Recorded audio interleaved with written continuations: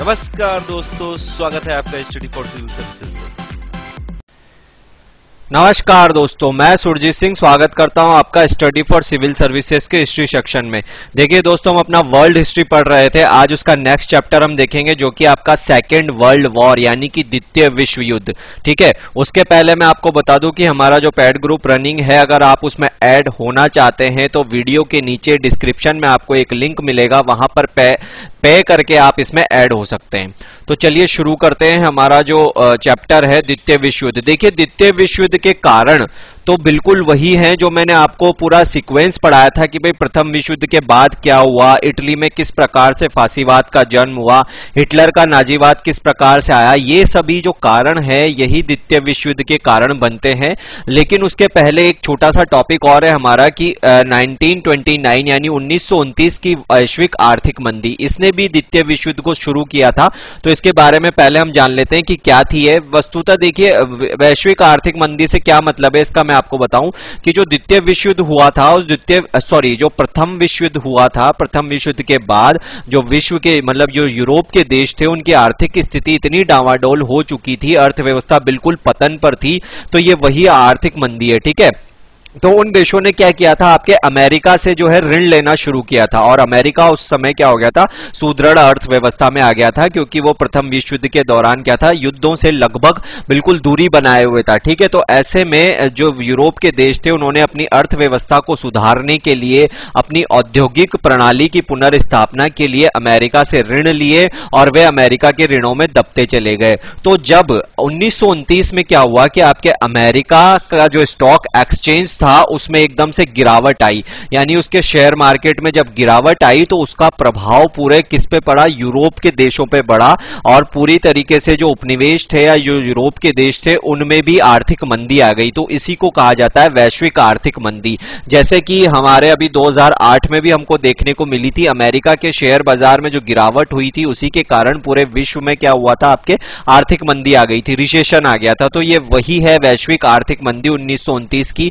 देखिए वस्तुतः है क्या कि जो अमेरिका है उसका जो डॉलर है वो पूरे विश्व में क्या है एक्सेप्टेबल है। तो उसके कारण जब भी कभी आ, अमेरिका का कोई भी सेक्टर मतलब ऊँचा नीचा या डामाडोल होता है तो उसका प्रभाव किस पर आता है?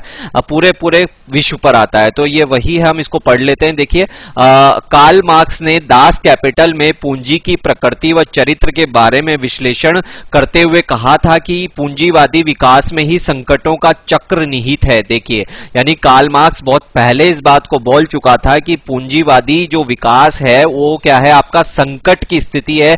यानी अगर उसमें संकट आया तो आपको उसके साथ क्या होगा? आपको भी उसका नुकसान होगा। चूँकि इस पद्धति में विकास का कारण मुनाफा है, सामाजिक आवश्यकता नहीं, इसलिए उत्पादन, वितरण मुद्रा स्फीति महँगाई जैसी समस्याएँ इसके मूल स्वभाव का हिस्सा है। यानी देखिए, पूंजीवादी जो आपका सिस्टम है, उसमें जो सिस्टम चलता है या जो उसका विकास होता है, डेवलपमेंट होता है, उसमें केवल और केवल उसका लक्ष्य मुनाफा होता है।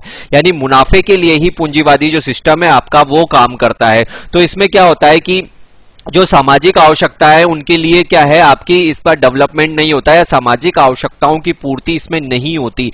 पूर्ति तो नहीं कहेंगे हम, लेकिन ये कह सकते हैं कि इसका जो लक्ष्य होता है, वो सामाजिक आवश्यकता नहीं होता, बल्कि मुनाफा कमाना होता है। तो ऐसे में क्या होता है कि इसमें उत्पादन, वितरण, मुद्रास्फीति यानी महँगाई, ठीक है, जैसी समस्याएँ क्या होती है, इसमें निहित होती है। और इसने यह भी कहा कि यह चक्र तो अनिवार्य है, भले इसका अंतराल भिन्न भिन्न हो। तो ये किसके बारे में बताया हमने?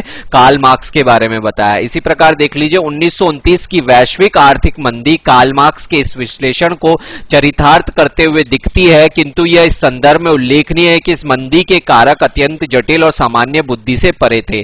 अब थोड़ा जानने की कोशिश करते हैं, क्या क्या कारण थे इसके। विश्व युद्ध के दौरान रक्षा और सैन्य आवश्यकता के तहत यूरोपीय देशों में भारी उत्पादन शुरू हुआ, लोगों को रोज़गार मिला, किंतु युद्ध समाप्ति के बाद जब मांग घटने लगी तो युद्ध के प्रभाव से त्रस्त उद्योग या तो बंद होने होने लगे या फिर उन्हें उन्होंने छटनी शुरू कर दी जिससे बेरोजगारी फैलने लगी। यानी देखिए, हमने इसमें क्या बात बताई है कि जो प्रथम विश्व युद्ध हमारा हुआ था, उस दौरान क्या था कि युद्ध में जो आवश्यकता की वस्तुएँ थी, उनकी डिमांड इतनी ज़्यादा बढ़ गई थी कि नई नई फैक्ट्रियाँ स्थापित हो रही थी, लोगों को बहुत सारा रोज़गार मिल रहा था। लेकिन जैसे ही वर्ल्ड वॉर खत्म होता है तो ये जो चीज़ें बन रही थी, इनकी डिमांड खत्म हो जाती है। और जब डिमांड खत्म हुई तो ये जो फैक्ट्रियाँ थी, ये धीरे धीरे बंद होने लगी। लोगों का जो है रोज़गार छिनना शुरू हो गया था, ऐसे में क्या हो गया था, आपके रोजगारों में छटनी शुरू हो गई थी और लोग बेरोजगार हो गए थे। युद्ध में तटस्थता के कारण अमरीकी उद्योगों को काफ़ी बढ़ावा मिला और अमरीकी अर्थव्यवस्था संपन्न हुई। अमेरिका का व्यापार संतुलन इतना अनुकूल हो गया कि अधिकांश यूरोपीय देशों का सोना उसके पास आ गया। अमेरिका में यह अति उत्पादन की प्रवृत्ति ही मंदी का प्रमुख कारण बन गई, क्योंकि युद्ध के बाद जब मांग घटी तो इन उद्योगों ने वस्तु की कीमत कम करने की बजाय श्रमिकों को रोज़गार विहीन कर दिया और इस तरह बेरोजगारी का क्रम, शक्ति और कम उत्पादन का एक दुष्चक्र बनने लगा। यानी देखिए अमेरिका ने क्या क्या ज़रिया अपनाया था उसने कि भाई जैसे युद्ध चल रहा था तो जो डिमांड हो रही थी उसके लिए उसने फैक्ट्रियाँ स्थापित की और उससे क्या कर रहा था, वो सप्लाई करता जा रहा था। लेकिन जैसे ही युद्ध आपका खत्म होता है तो वो क्या करता है, उत्पादन कम, वस्तु की कीमत कम करने की बजाय वो क्या करता है कि श्रमिकों को ही अपने उससे फैक्ट्रियों से निकालना शुरू कर देता है। तो ऐसे में एक तो उत्पादन कम उत्पादन और दूसरा बेरोजगारी। तो ये पूरा एक साइकिल बन जाता है। आय नहीं बढ़ी, ठीक है अब इससे क्या होता है कि महत्वपूर्ण यह भी था कि उत्पादन तो बड़ा था, ठीक है, लेकिन आम लोगों की क्रय क्षमता आय नहीं। बढ़ी उदाहरण स्वरूप 1923 से उन्नीस सौ उनतीस के बीच औद्योगिक लाभ की दर बहत्तर परसेंट बढ़ी, परंतु आय में आठ परसेंट की वृद्धि नहीं हुई। यानी देखिए क्या हो रहा था कि आपके जो प्रोडक्शन था वो तो कंटिन्यू होता जा रहा था, लेकिन लोगों की आय में वृद्धि नहीं हो रही थी। अमरीकी अर्थव्यवस्था की विषमता ने उपभोक्ता बाज़ार को सीमित कर दिया, क्योंकि लोगों के पास क्रय क्षमता ही नहीं थी। इस निर्यात एक बेहतर विकल्प हो सकता था। इस समय निर्यात एक बेहतर विकल्प हो सकता था, किंतु प्राय सभी देशों ने संरक्षणवादी नीति अपनाकर आयात प्रतिबंधित कर दिया था। ऐसे में ये यूरोपीय देश आर्थिक समस्याओं से ग्रसित होने लगे और इनकी निर्भरता अमरीकी अर्थव्यवस्था पर हो गई। यानी किस प्रकार से ये जो है आपके अर्थव्यवस्था अमेरिका पर निर्भर हो रही थी, ये हमने बताया। इसमें देखिए, इसमें क्या था? जब हमने इटली सॉरी, इटली का जो फांसीवाद था, नाजीवाद था, ये जो उग्र राष्ट्रवाद के चरण थे, इनको देखा। तो इनके दौरान क्या होता है कि जो जनता है, वो अपने राष्ट्र के प्रति इतना राष्ट्रभक्त उनमें उभरकर सामने आता है कि वो एक संरक्षणवादी नीति अपनाते। यानी दूसरे देशों की बजाय अपने देशों की जो वस्तुएँ थी, उनको उपभोग करना शुरू करते हैं। तो ऐसे में बाहर से जो चीज़ें आ रही थी, जो आयात हो रहा था, उस पर प्रतिबंध लगा दिया जाता है, ठीक है? और अपने ही देश की चीज़ों को यूज़ करना शुरू किया जाता है। इसी समय अमेरिका में शेयर मार्केट में निवेश की प्रवृत्ति भी अत्यधिक लोकप्रिय हो रही थी और लगभग तीन गुना मुनाफा इस निवेश से प्राप्त किया जा रहा था। किंतु मंदी का विश्लेषण करते हुए जब निवेशकों ने अपना पैसा वापस लेना शुरू किया तो वॉल स्ट्रीट के आकस्मिक पतन से अमरीकी अर्थव्यवस्था की खामियाँ स्पष्ट हो गई और चूँकि पूंजीवादी देश अमरीकी संबंधों पर निर्भर थे, अतः त्रिवार्षिक वैश्विक मंदी फैलने लगी। मतलब क्या है कि भाई ये दौर ऐसा आ गया था कि भाई जो यूरोप के जो देश थे, उनके पास पैसा भी, पैसा तो था, लेकिन एक जुए की तरह वो कहाँ लगा रहे थे, उसको अमरीकी शेयर मार्केट में लगा रहे थे। तो जैसे ही वो शेयर मार्केट गिरता है तो उसका पूरा प्रभाव किस पर आता है? जो पूंजीवादी, जो यूरोप के थे, उन उन लोगों पर आ जाता है। इस आर्थिक संकट के विश्वव्यापी परिणाम अत्यधिक दूरगामी सिद्ध हुए। बैंक दिवालियेपन की स्थिति में आ गए। अनेक कल कारखानों को बंद करना पड़ा, जिससे बेरोजगारी फैलने लगी और गरीबी भुखमरी जैसे सामाजिक दुष्परिणाम सामने आ गए। गए। इस मंदी का राजनीतिक परिणाम भी अति महत्वपूर्ण साबित हुआ। एक तरफ़ तो पूंजीवादी अर्थव्यवस्था की जगह साम्यवादी विचारधारा में विश्वास बढ़ा तो दूसरी ओर यह मंदी ही थी जिसकी परिस्थितियों का लाभ उठाकर हिटली व मुसोलोनी जैसे तानाशाहों ने विश्व को पुनः युद्ध में झोंक दिया। इसी आधार पर कहा गया कि यदि आर्थिक मंदी न होती तो इतिहास हिटलर को पागल करार देकर अपने अध्याय में ही शामिल नहीं कर पाता। ठीक है? मतलब देखिए कि ये जो आर्थिक मंदी थी, इसने क्या किया? पूंजीवादी जो विचारधारा थी, उसकी पोल खोल दी थी। दूसरी ओर रूस में इसी समय साम्यवादी विचारधारा प्रसारित हो रही थी, जिसका मेन मकसद था कि भाई जो उत्पादन वितरण प्रणाली है, वो समाज के हिसाब से होना चाहिए। जो आम लोग हैं, जो निचले, हाशिए के लोग हैं, उनके हिसाब से पूरा का पूरा सिस्टम चलना चाहिए। जबकि पूंजीवादी अर्थव्यवस्था या विचारधारा में क्या था कि जो भी आपका उत्पादन प्रणाली, वितरण प्रणाली हो या जो पूरा सिस्टम है आपको वो मुनाफा मुनाफे पर होना चाहिए और पूंजीवादियों का उस पर कंट्रोल होना चाहिए।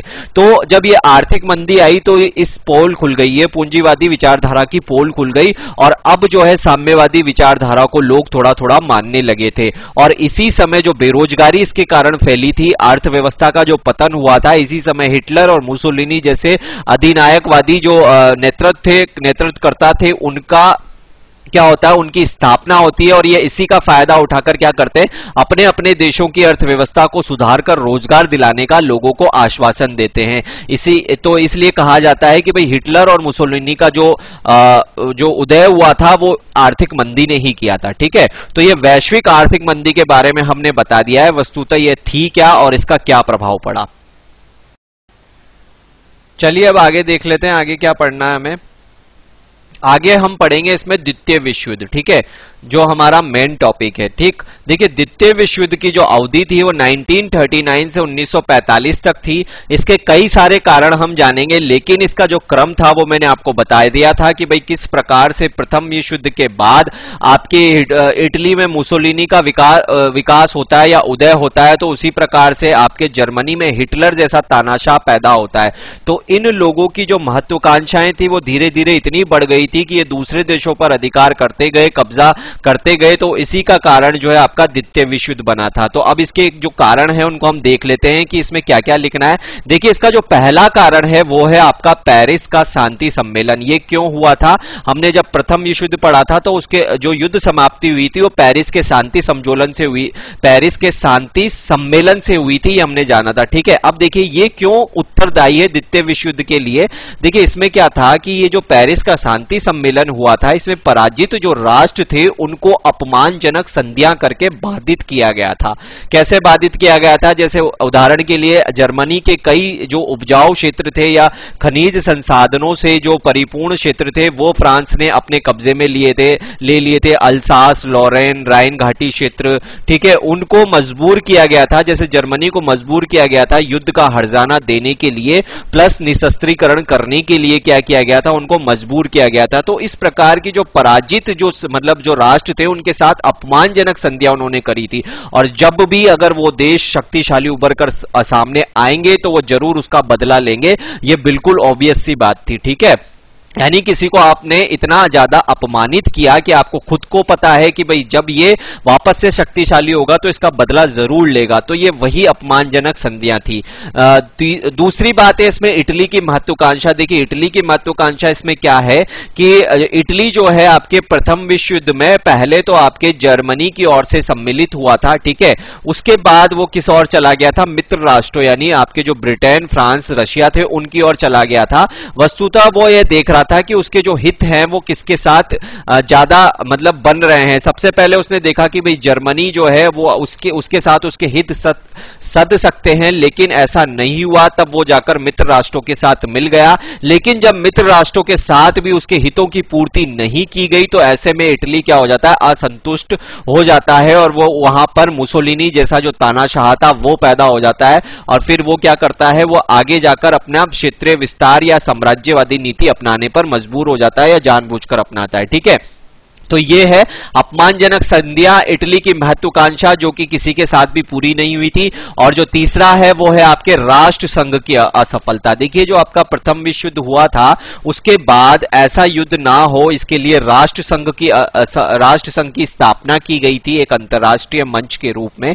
लेकिन ये जो राष्ट्र संघ था, ये कंट्रोल करने में बिल्कुल असफल जो है आपका हो जाता है। क्यों हो जाता है? कुछ ऐसे उदाहरण आते हैं सामने, जैसे कि चीन चीन का एक क्षेत्र था मंचूरिया। उस पर क्या करता है? जापान अपना अधिकार जमा लेता है, लेकिन राष्ट्र संघ कोई भी कार्यवाही नहीं करता। यानी मूक जो है, दर्शक बनकर देखता रहता है। तो ऐसे में आप क्या कहेंगे कि भाई ये जो है, पूरी तरीके से असफल हो गया। दूसरी बात, जर्मनी जो है, जब हिटलर का वहाँ पर उदय होता है तो वो निशस्त्रीकरण को छोड़कर शस्त्रीकरण अपना लेता है। तब भी आपका राष्ट्र संघ जो है, मूक दर्शक होकर देखता रहता है। तो ऐसे में ये पूरी तरीके से असफल हो जाता है। तो ये पेरिस शांति सम्मेलन के क्या थे आपके?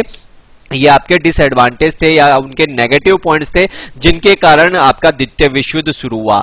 अब देखिए आर्थ, वैश्विक आर्थिक मंदी वैश्विक आर्थिक मंदी थी क्या? ये मैंने आपको बता दिया। अब इसमें देखिए क्या क्या था कि अमेरिका का जो ऋण थे अमेरिका का ऋण जो है सब लोगों पर यानी यूरोप के देशों पर बढ़ रहा था। ठीक है तो ऐसे में क्या हो रहा था कि आर्थिक अस्थिरता को सुलझाने में जो आपकी लोकतांत्रिक सरकारें थी, वो असफल हो जाती है। यानी अमेरिका का ऋण आर्थिक वैश्विक आर्थिक मंदी के दौरान अमेरिका से जो ऋण लिए जा रहे थे यूरोपीय देश तो ऐसे में जब अमेरिका की अर्थव्यवस्था का पतन हुआ तो उसका जो इफ़ेक्ट था, वो यूरोप के अन्य देशों पर भी आया। और जो यूरोप के देशों की जो लोकतांत्रिक सरकारें थी, वो क्या हो गई, उसको संभालने में असफल हो गई। तो इन्हीं सब परिस्थितियों के कारण देखिए, क्या होता है कि आपका अधिनायकवादी जैसी प्रवृत्तियाँ जो है आपके बढ़ने लगती है। जैसे कि आपका जर्मनी में नाजीवाद, हिटलर के नेतृत्व में, इटली में फांसीवाद, ये लोग क्या करते हैं? ये लोग ये सांत्वना देते हैं कि भाई ये जो अर्थ, आर्थिक बंदी आई है, लोगों के पास रोज़गार नहीं है, हमें नेता चुनो, हम आपको इसका क्या करेंगे? इसका समाधान देंगे, यानी रोज़गार को बढ़ाएँगे, ठीक है, अर्थव्यवस्था को संभालेंगे तो इन लोगों ने क्या किया था? जनता को अपनी ओर आकर्षित किया था आर्थिक मंदी के कारण।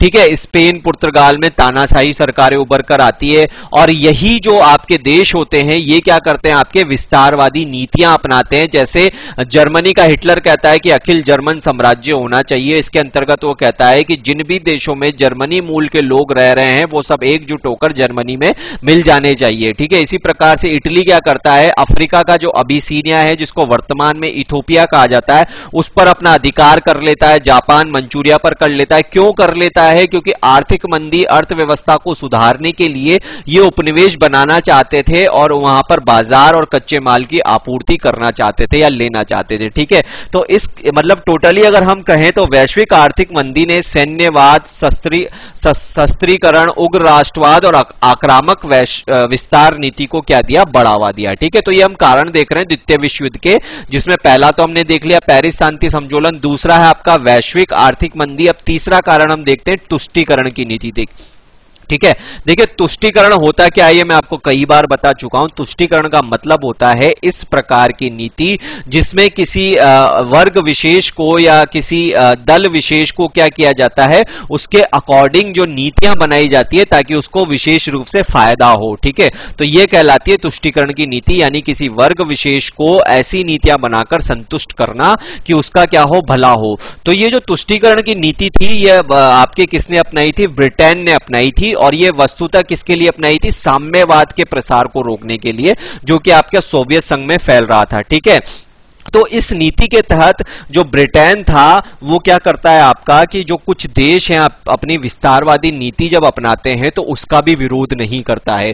वो उनके प्रति तुष्टिकरण की नीति अपनाता है, यानी उनको वो काम करने देता है। इस कारण से क्या होता है कि आपका जो ये देश थे, इनकी महत्वाकांक्षा बढ़ जाती है और उसकी परिणति हमें द्वितीय विश्व युद्ध के रूप में दिखाई देती है। अब देखिए क्या क्या थी वो नीतियाँ? जैसे जापान जो है मंचूरिया पर अधिकार कर लेता है, चीन का मंचूरिया क्षेत्र पर तब भी ब्रिटेन कुछ नहीं बोलता है। चाहता तो ब्रिटेन जो है फ्रांस और ये जो मित्र राष्ट्र मिलकर उस पर आक्रमण कर सकते थे या उस पर जवाबी कार्यवाही कर सकते थे, लेकिन ब्रिटेन ऐसा नहीं करता है। इसी प्रकार से इटली क्या करता है? इटली से उसकी तुष्टिकरण कैसे हो रहा था? कि भाई देखिए, जो इटली है आपका होगा वो भूमध्य सागरीय क्षेत्र में स्थित है, ये सब आप लोग जानते ही होंगे कि किस प्रकार से इटली का भौगोलिक विस्तार है। मैप में, भूगोल में आपने देखा होगा, ठीक है? तो ब्रिटेन क्या चाहता था? ब्रिटेन चाहता था कि भाई उसके जो हित थे, वो हमेशा व्यापार को लेकर रहे थे। वह अपने व्यापार को या उपनिवेशों को रक्षा करना चाहता था। तो ऐसे में भूमध्य सागर पर शांति बनाए रखना या भूमध्य सागर पर कंट्रोल स्थापित करना उसका पहला लक्ष्य था। किसका? ब्रिटेन का। तो इटली जब, वो इटली जब क्या कर रहा था? अपना विस्तार कर रहा था। जैसे अफ्रीका में उसने अबिसीनिया पर अधिकार कर लिया तो ब्रिटेन क्या करता है? उसको मान्यता दे देता है, क्योंकि वो वहाँ पर अशांति फैलाना नहीं चाहता था। अगर वो फैलाता तो भूमध्य सागर से होने वाला उसका व्यापार जो है, वो प्रभावित हो जाता। तो ऐसे में वो इटली को भी क्या करता है? तुष्टिकरण की नीति अपनाता है। जर्मनी के साथ वो क्या नीति अपनाता है? देखिए, जर्मनी जो क्षेत्र था, प्रथम विश्व युद्ध के बाद वो क्या हो गया था? उसको पूरी तरीके से, एक तरीके से नष्ट कर दिया गया था। तो ब्रिटेन चाहता था कि भाई वहाँ पर जो औद्योगिक पुनर्निर्माण हो, वो मेरे द्वारा हो, ठीक है? दूसरा, ब्रिटेन का जो माल था, उसकी खपत कहाँ ज़्यादा होती थी? यहाँ पर जर्मनी में आपके ज़्यादा होती थी, यानी जर्मनी एक ऐसा क्षेत्र था जहाँ पर ब्रिटेन जो है बहुत ज़्यादा निर्यात करता था, ठीक है? तो ऐसे में वो क्या है, जर्मनी के साथ तुष्टिकरण की नीति अपनाता है, प्लस उसका एक कारण और भी था कि ब्रिटेन कभी भी नहीं चाहता था कि यूरोप में फ्रांस जो है शक्तिशाली बनकर उभरे। इस कारण से वो जर्मनी को भी क्या कर रहा था, सपोर्ट कर रहा था, यानी वो शक्ति संतुलन स्थापित करना चाहता था। तो ये इस प्रकार से वो जर्मनी के साथ तुष्टिकरण की नीति अपनाता है। इतनी ज़्यादा तुष्टिकरण तुष्टिकरण की नीति अपनाता है कि एक म्यूनिक समझौता हुआ था। इस म्यूनिक समझौते के अंतर्गत जब जर्मन के हिटलर ने जो आपका सुडेटन लैंड है, चेकोस्लाविया का, उस पर अधिकार कर लिया था और फिर पूरे चेकोस्लाविया पर अधिकार कर लिया था तो इस प्रकार से ब्रिटेन की जो तुष्टिकरण की नीति है, उसको चरम परिणति यहाँ पर देखी जा सकती है, ठीक है? ये सब मैंने आपको बताया कि म्यूनिक समझौता क्या था, किस प्रकार से सुडेटन लैंड और चेकोस्लाविया, चेकोस्लोवाकिया पर वो क्या करता है, अधिकार जमाता है सब मैं आपको बता चुका हूँ। तो ये उसकी तुष्टिकरण की नीति थी। और देखिए, इसमें जो आपका ब्रिटेन का पीएम था चैम्बरलिन, उसकी एक गलत अवधारणा भी थी। वो ये समझता था कि भाई इटली और जर्मनी जो है, बहुत ज़्यादा इनको बर्बाद कर दिया जा चुका है या इनकी अर्थव्यवस्था का जो है, पतन हो चुका है। तो ऐसे में अगर ये कुछ क्षेत्रों पर अधिकार कर रहे हैं तो इनको करने दो। इन क्षेत्रों पर अधिकार करके ये क्या हो जाएँगे? संतुष्ट हो जाएँगे। लेकिन ये उसकी बिल्कुल गलत अवधारणा थी। ऐसे क्षेत्रों पर अधिकार करते करते उनकी महत्वाकांक्षा उल्टा और ज़्यादा बढ़ गई। और अंततः जो जर्मनी है वो पोलैंड पर आक्रमण कर देता है, इसी तुष्टिकरण की नीति का फ़ायदा उठाते हुए, क्योंकि हिटलर समझता है कि भाई अब ये जो देश है, ये मेरा जो है सामना करने के लिए बिल्कुल बचे नहीं है या मेरा सामना नहीं कर सकते, ये कमज़ोर हो चुके हैं, ठीक है? तो इसका फ़ायदा उठाते हुए वो पोलैंड पर आक्रमण कर देता है और इसी पोलैंड पर आक्रमण के तहत जो है आपका द्वितीय विश्व युद्ध शुरू हो जाता है, ब्रिटेन और फ्रांस उसके विरुद्ध में आ जाते हैं और एक प्रकार से आपका युद्ध शुरू हो जाता है। तो देखिए, ये पूरे उसके कारण कारण है किसके द्वितीय विश्व युद्ध के इसमें हमने पहला कारण देखा पेरिस का शांति सम्मेलन, कि किस प्रकार से उसने एक बेस तैयार कर दिया था। फिर हमने वैश्विक आर्थिक मंदी मंदी को भी देखा, कि किस प्रकार से आपके नाजीवाद, फांसीवाद जैसे अधिनायकवादी जो नेतृत्व है, वो उभर कर सामने आते हैं। और फिर जो तीसरा कारण था, वो उसमें हमने पढ़ा, तुष्टिकरण की नीति, ठीक है? तुष्टिकरण की नीति के तहत हमने पूरा देखा कि किस प्रकार से इटली और जर्मनी को मतलब अपना साम्राज्य विस्तार करने में छूट दे दी जाती है। और फिर उनकी महत्वाकांक्षा इतनी बढ़ जाती है कि अंत अंततः आपका द्वितीय विश्व युद्ध शुरू हो जाता है। तो ये हो गए द्वितीय विश्व युद्ध के कारण। अब आगे इसमें देखते हैं कि क्या है हमारा। अब हम पढ़ेंगे द्वितीय विश्व युद्ध के चरण यानी द्वितीय विश्व युद्ध शुरू तो हो गया लेकिन वो किस तरीके से आगे बढ़ता रहा या उसमें क्या क्या किस किस पर युद्ध हुआ क्या क्या उसका घटनाक्रम था ये सब हम जानेंगे। देखिए एक सितंबर उन्नीस सौ उनतालीस यानी 1939 को जापान का पोलैंड पर कब्जा हो जाता है और इसी कब्जे के विरुद्ध जो है युद्ध की घोषणा कर दी जाती है तीन सितंबर को। यानी मैंने आपको अभी अभी बताया है कि भाई किस प्रकार से ज, जापान नहीं आएगा, यहाँ पे जर्मनी आएगा सॉरी यहाँ पर जर्मनी का पोलैंड पर कब्जा हो जाता है और फिर जर्मनी के विरुद्ध जो है आपकी युद्ध की घोषणा कर दी जाती है, ठीक है? तो यहीं से आपका द्वितीय विश्व युद्ध स्टार्ट हो जाता है। अब ये जो द्वितीय विश्व युद्ध है, ये कुल मिलाकर आपके पाँच चरण में हमने इसको पढ़ने के हिसाब से बांट दिया है। तो इसको हम देखेंगे, देखिए जो प्रथम चरण है, इसमें होता क्या है? आप समझते जाइएगा, इसमें मतलब ऐसा कुछ ज़्यादा जानने के लिए नहीं है। आपसे पूछा भी नहीं जाता है, कभी ऐसा क्वेश्चन नहीं आता कि द्वितीय विश्व युद्ध में किस प्रकार से देशों पर कब्जा होता गया या इसके चरण कैसे थे, ऐसा नहीं पूछा जाता है। ये केवल आपको समझाने के हिसाब से मैं बता रहा हूँ। देखिए क्या था? जर्मनी ने पोलैंड पर कब्जा किया, ठीक है, कर लिया। अब पोलैंड पर जब कब्जा हो जाता है तो इसी समय वो जाकर सोवियत संघ से क्या कर लेता है? एक संधि कर लेता है। इस संधि के द्वारा जो आपका पूर्वी पोलैंड था, उस पर सोवियत संघ अपना कब्जा जमा लेता है, और जो पश्चिमी पोलैंड था, उस पर जर्मनी अपना कब्जा जमा लेता है। यानी देखिए, आपका अगर ये पोलैंड है तो इसके दो भाग कर लिए जाते हैं। जो पश्चिम वाला इलाका है, इस पर कौन इस पर कौन अधिकार कर लेता है? जर्मनी। और जो पूर्वी वाला इलाका है, उस पर सोवियत संघ अपना अधिकार जमा लेता है ठीक है तो पोलैंड पर कब्जा किया। फिर आगे देखिए क्या होता है कि जो सोवियत संघ है, वो बाल्टिक राज्यों और फिनलैंड पर अपना अधिकार कर लेता है। अब ये जो बाल्टिक राज्य हैं ज्योग्राफी में मैप में आपने देखा होगा कि बाल्टिक राज्य कौन से हैं, जो आपका बाल्टिक सागर है, उसके पास तीन देश हैं, जो कि आपके बाल्टिक राज्य कहलाते हैं, जिसमें स्टोनिया लाटविया और लिथुआनिया आता है। ठीक है, इन तीनों पर कौन कब्जा कर लेता है? सोवियत संघ अपना कब्जा कर लेता है। और एक फिनलैंड, आपने देखा होगा ऊपर की ओर, जब मैप में आप देखोगे तो नार्वे, स्वीडन और फिनलैंड फिनलैंड ठीक है? फिनलैंड आपको दिखाई देगा, उसी फिनलैंड पर सोवियत संघ आपका क्या कर लेता है? कब्जा कर लेता है। अब फिनलैंड के बारे में एक बहुत अच्छा फैक्ट है, मेरे को याद आ गया, मैं आपको बता दूँ कि जो नोकिया कंपनी है, वो कहाँ की है, ठीक है? नोकिया नोकिया के जो मोबाइल्स आते हैं, आप सब लोग जानते होंगे नोकिया ठीक है? वो नोकिया जो आपकी कंपनी है, वो फिनलैंड की कंपनी है, ठीक है? अब आप फिनलैंड को हमेशा याद रखेंगे, ठीक है? तो ये फिनलैंड और ये बाल्टिक राज्यों पर आपका सोवियत संघ जो है, आपका कब्जा कर लेता है। फ्रांस पर जर्मनी का कब्जा हो जाता है। यानी अब जर्मनी क्या करता है? जो फ्रांस था, उस पर आक्रमण कर देता है और आक्रमण करके लगभग आधे भाग पर, जिसमें उस पेरिस भी इंक्लूड था, वहाँ पर जर्मनी अपना साम्राज्य स्थापित कर देता है। और जो बचा हुआ आधा भाग था, वहाँ पर विशीनगर को केंद्र बनाकर एक कठपुतली सरकार जो है, स्थापित कर देते हैं फ्रांस के लोग। ठीक है? फ्रांस की सरकार।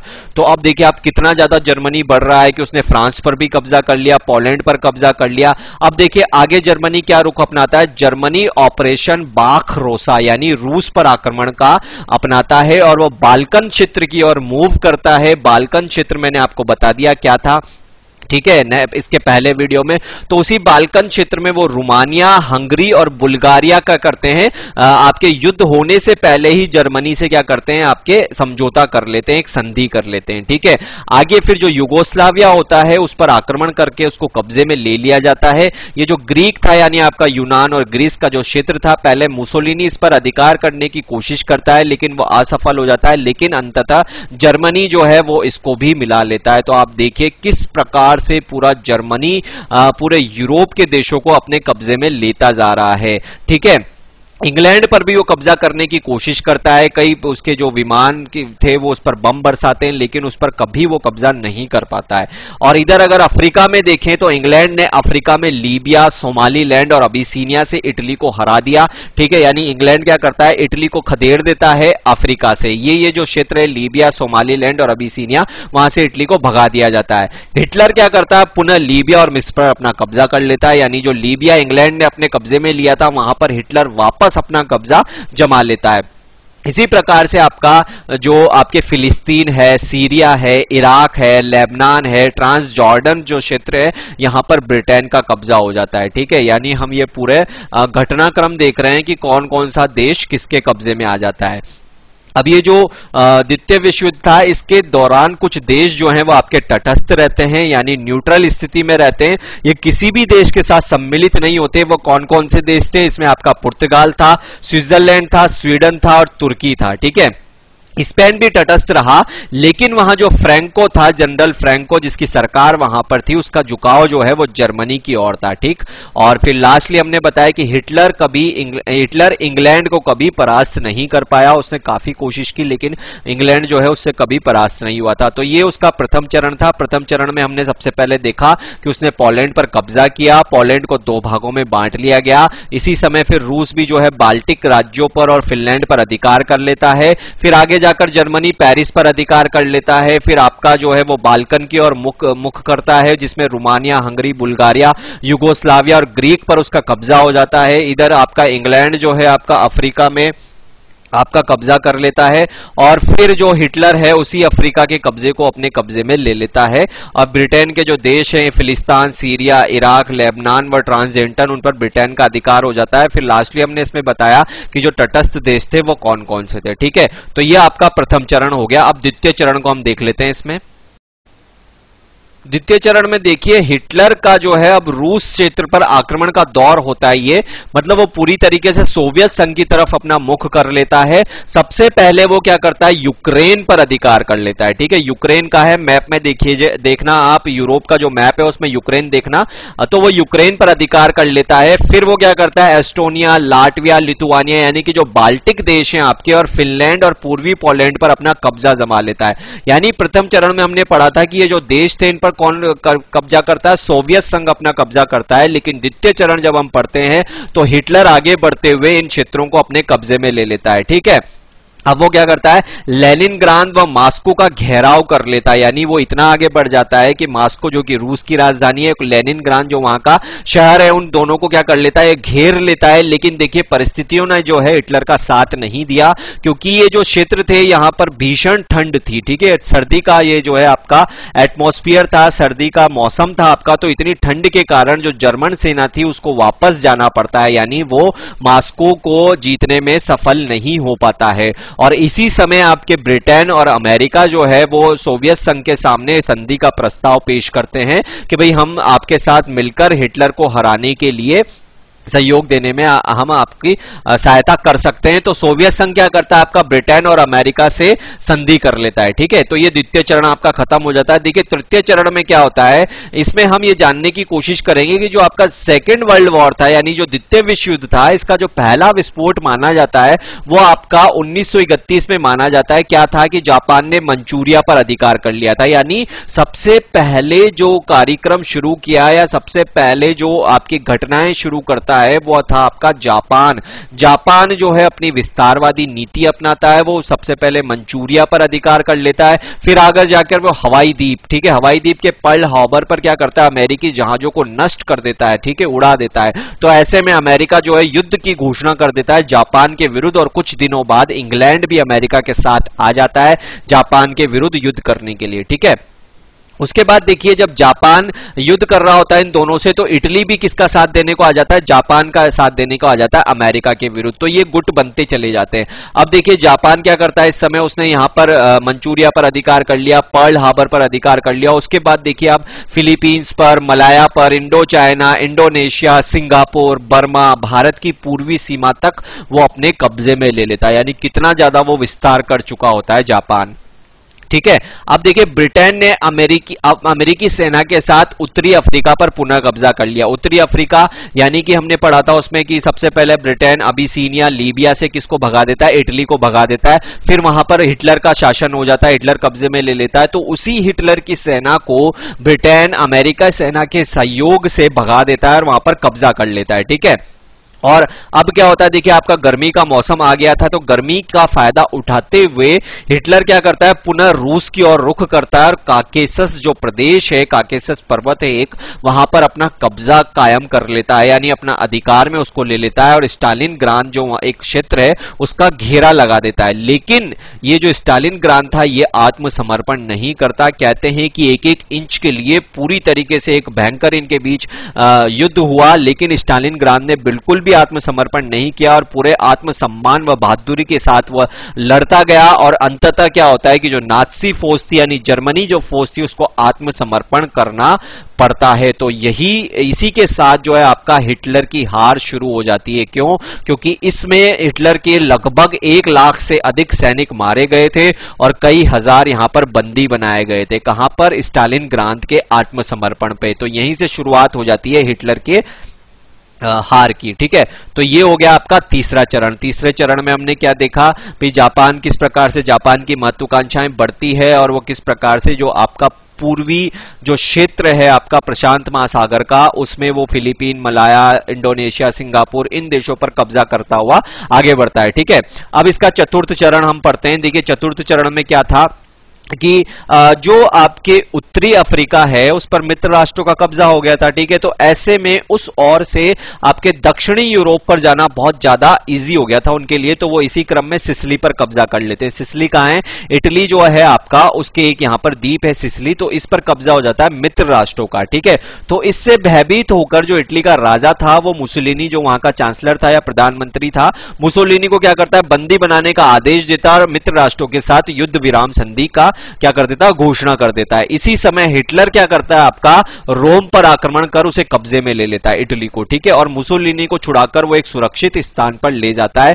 लेकिन मित्र राष्ट्र पुनः इटली पर कब्जा कर लेते हैं और नाथसी फौज को वहाँ से हटा देते हैं, ठीक है?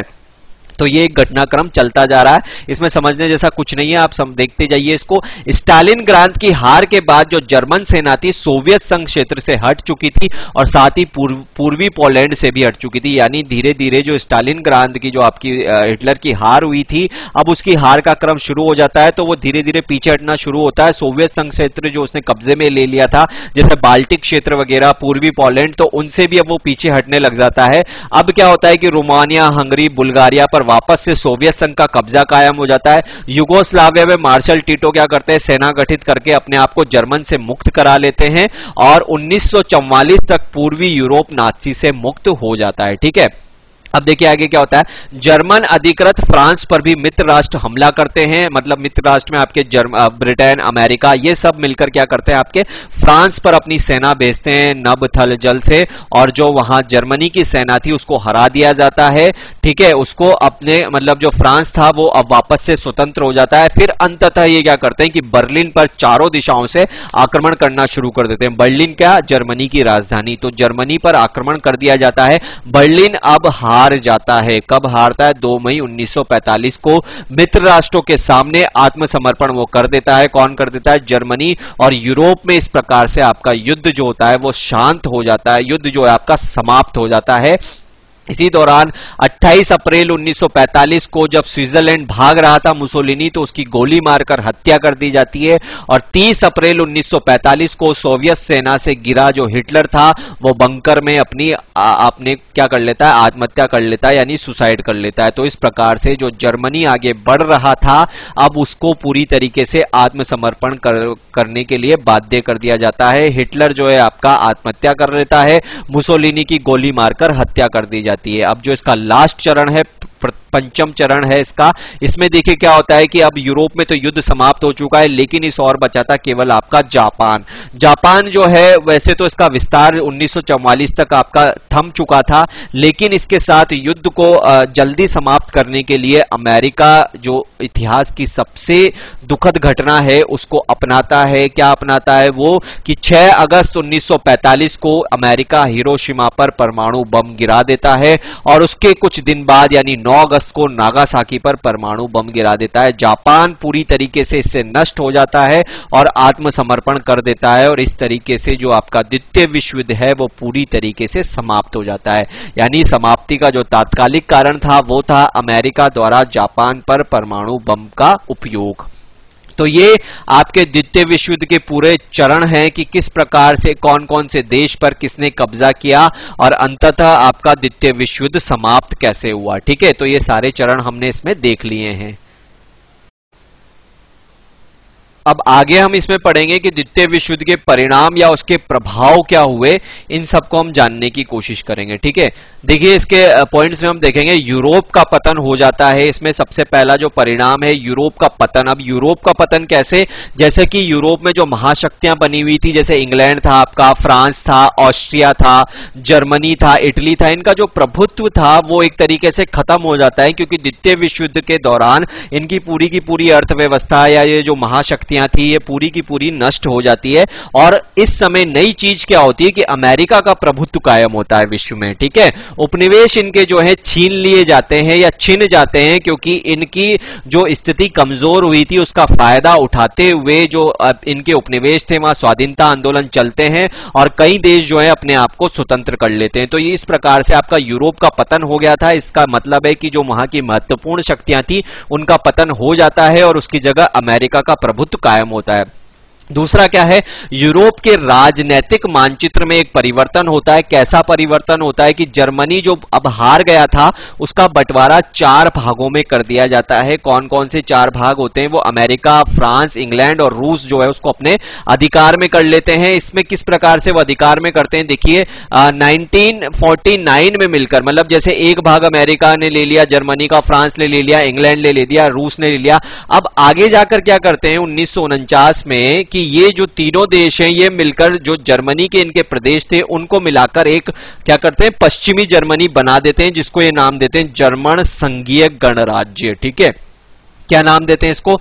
जर्मन संघीय गणराज्य और ये जो है आपका पूंजीवादी विचारधारा के प्रभाव में था। और जो आपका दूसरा भाग था, वो आपके सोवियत संघ के प्रभाव में था और ये भी उसको उन्नीस सौ उनचास में जर्मन जनतांत्रिक संघ बना देता है, ठीक है? और ये आपका साम्यवादी विचारधारा के प्रभाव में था। यानी यूरोप के मानचित्र में क्या परिवर्तन होता है कि जर्मनी का दो भागों में विभाजन हो जाता है। एक आपका पश्चिमी जर्मनी, जो आपके पूंजीवादी देशों के प्रभुत्व में था और आपका दूसरा पूर्वी जर्मनी जो साम्यवाद के प्रभाव में था। ठीक है? और तीसरा जो इसका प्रभाव है वो ये है कि दो महाशक्तियों का उदय अब यहाँ पर हो जाता है। एक था आपका अमेरिका और एक था आपका सोवियत संघ। अमेरिका द्वितीय विश्व युद्ध में किस प्रकार से सभी देशों की हेल्प करता है टेक्नोलॉजी का विकास करता है, ठीक है? तो एक, ये शक्ति के रूप में उभरकर सामने आता है। वहीं जो आपका सोवियत संघ था जर्मनी को विघटित करने में इसका बहुत महत्वपूर्ण रोल रहा था। तो सोवियत संघ भी अपने आप को एक विश्व शक्ति के रूप में स्थापित कर लेता है।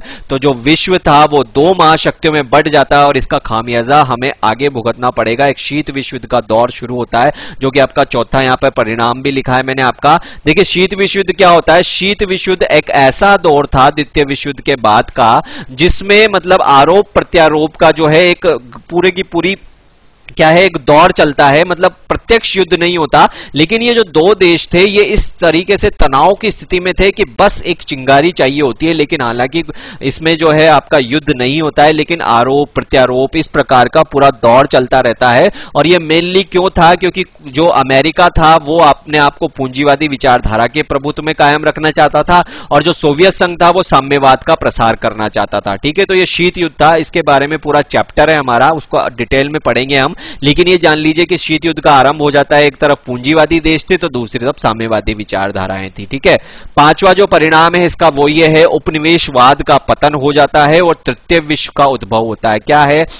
देखिए, मैंने आपको बता दिया कि भाई जो साम्राज्यवादी शक्तियाँ थी, वो कमज़ोर हो जाती है द्वितीय विश्व युद्ध में। तो इस मौके का फ़ायदा उठाकर जो उपनिवेश थे, वहाँ पर स्वतंत्रता आंदोलन चलाए जाते हैं और अनेक उपनिवेश जो हैं, स्वतंत्र हो जाते हैं। और जो ये स्वतंत्र होते हैं, इन्हीं नव स्वतंत्र देशों को तृतीय विश्व के देश कहा जाता है, जो कि आगे जाकर विश्व राजनीति में बहुत ज़्यादा महत्वपूर्ण रोल अदा करते हैं। इसमें कुछ एग्ज़ाम्पल भी मैंने दिए हैं, जैसे स्पेन के प्रभुत्व से बर्मा, श्रीलंका, मलाया, मिस्र, फ्रांस से कंबोडिया, लाओस, हॉलैंड से जावा, सुमात्रा, बोर्नियो, ये सब क्या हो जाते हैं? स्वतंत्र हो जाते हैं। और ये जो देश है नव स्वतंत्र देश क्या कहलाते हैं? आपके तृतीय विश्व के देश कहलाते हैं। तो ये उसका पांचवा परिणाम है।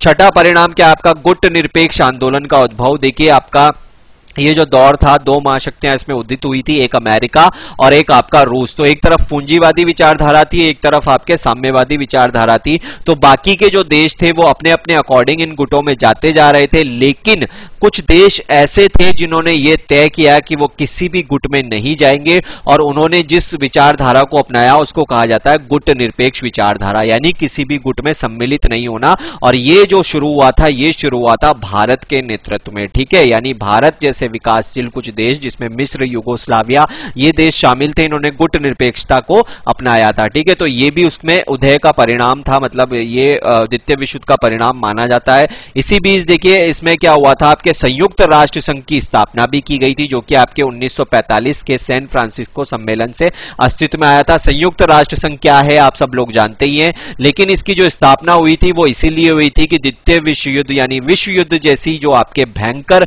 भीषणकारी घटना है वो दोबारा ना हो तथा आपके पूरे विश्व में अंतर्राष्ट्रीय सहयोग व शांति, स्थिरता को कायम करने के लिए संयुक्त राष्ट्र संघ की स्थापना भी की गई, ठीक है?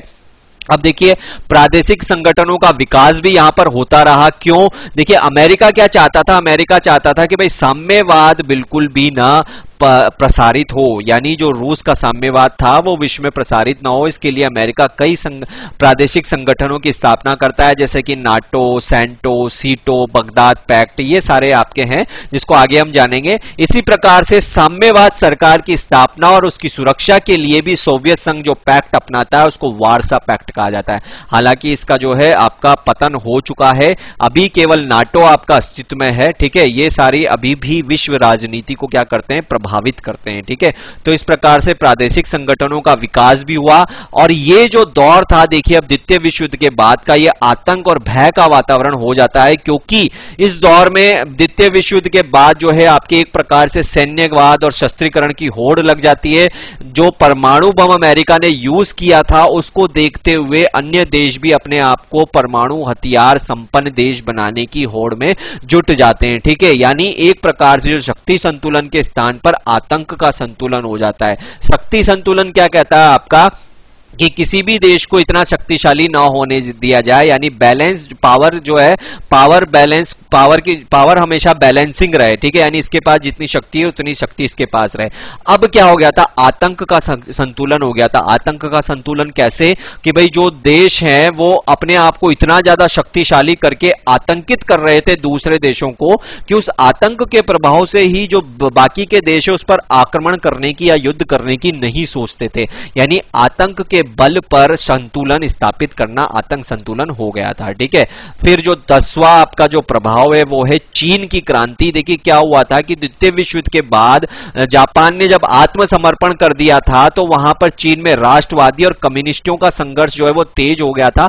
कम्युनिस्ट जो है, उस आत्मसमर्पण का जो क्षेत्र था, उस पर कब्जा करना शुरू कर देते हैं जिसमें उत्तरी पूर्वी प्रांत शामिल थे।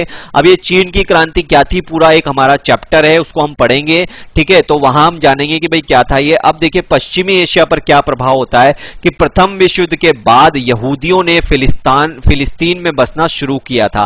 फिलिस्तीन और इसराइल ये दो देश हैं अभी ठीक है? इसके बारे में पूरा आ, मैं आपको बताऊँगा इसके बारे में जानेंगे। देखिए क्या है कि जो यहूदियों को हिटलर ने यातनाएँ दी थी ठीक है? उन यातनाओं से प्रभाव प्रभावित होकर वो क्या करते हैं, एक नए देश में जाकर बसते हैं, जो कि आपका फिलिस्तीन था। वो लोग यहाँ पर आकर बसना शुरू कर देते हैं और जल्द ही इस देश को वो इसराइल का नाम दे देते हैं। ठीक है, ये इसराइल ठीक है? इसराइल की राजधानी आपके जेरूसलम है। ठीक है, अभी वर्तमान में भी फिलिस्तीन और इसराइल का जो आपका मैटर है, वो बहुत ज़्यादा उग्र है। क्या है इसमें? कि भाई जो यहूदी यहाँ पर आए इसराइल में, वो उन्होंने इसराइल स्थापित कर लिया। अब ये जो फिलिस्तीन थे, यहाँ पर अरब के लोग रहते थे तो ऐसे में अरब और ये यहूदियों के बीच क्या होने लगा? संघर्ष होने लगा। और अगर अभी आप वर्तमान में देखें तो जैसे ये इसराइल है तो इसके कुछ क्षेत्र पर, जैसे एक गाजा पट्टी है और एक आपके कुछ क्षेत्र है, जहाँ पर फिलिस्तीन सरकार चल रही है, बाकी जो है आपका इसराइल है। ठीक है? तो इन दोनों में हमेशा संघर्ष होता रहता है, ठीक? और ये जो इसराइल है, इसको 1940 में ब्रिटेन और अमेरिका ने मान्यता दे दी थी। इसके तो ये हो गए हमारे द्वितीय विश्व युद्ध के परिणाम और प्रभाव। अगर और अगर इसमें देखें तो देखिए कुछ साइंस एंड टेक्नोलॉजिकल प्रभाव भी थे कि भाई टेक्नोलॉजी का बहुत ज़्यादा विस्तार हो गया था, जिसमें आपके रडार वगैरह फाइटर प्लेन्स ये सारे जो हैं आपके विस्तार मतलब इसके प्रभाव थे। साइंस एंड टेक्नोलॉजी का बहुत ज़्यादा प्रभाव हुआ था। सांस्कृतिक प्रभाव अगर हम देखें तो इस समय जो है मानव का जो अस्तित्व है, बिल्कुल ऐसा हो गया था कि भाई उसका कोई अस्तित्व नहीं है। एक परमाणु बम से पूरी तरीके से, किस प्रकार से पूरा का पूरा एक क्षेत्र उजड़ गया था तो मानव के अस्तित्व पर एक प्रश्न चिन्ह भी लग गया था। तो इस दौर में कई आपके जो है बुद्धिजीवियों का उदय होता है, ठीक है? तो ये आपके पूरे द्वितीय विश्व के बारे में आज हमने पढ़ लिया है, जिसमें हमने उसके द्वितीय विश्व क्या था ये भी जाना, उसके कारण भी हमने जाने और उसके क्या प्रभाव हुए ये सब हमने जाने, ठीक है? तो अगर आपके आप कोई क्वेश्चन आ जाए द्वितीय विश्व से रिलेटेड तो आप इसको इजीली लिख सकते हैं। तो आज के लिए केवल इतना ही। अगर वीडियो आपको पसंद आया तो ज़्यादा से ज़्यादा इसको लाइक कीजिए सब्सक्राइब कीजिए। थैंक यू सब्सक्राइब करें स्टडी फॉर सिविल सर्विसेज़ को और हमारे लेटेस्ट वीडियो अपडेट के लिए बेल आइकन को टैप करें और पाए हमारे सभी वीडियोस बिल्कुल फ्री।